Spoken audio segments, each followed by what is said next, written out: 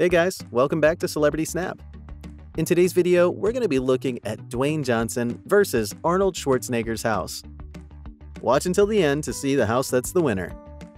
Let's get started. Dwayne Johnson's house. Dwayne Johnson bought a lavish mansion in Beverly Hills for $27.8 million from a Hollywood actor known as Paul Reiser.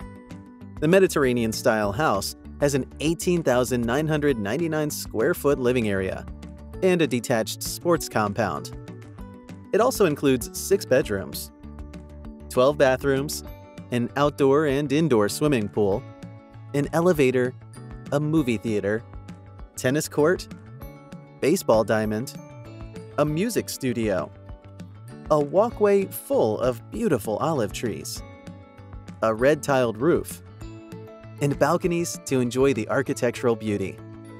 Arnold Schwarzenegger's house. Arnold has been living in a gorgeous mansion whose net worth is estimated to be $400 million, and it's in Los Angeles. The house is strategically located to help him enjoy the stunning views of the Pacific Oceans and canyons. And it sits on over 2.5 acres of land.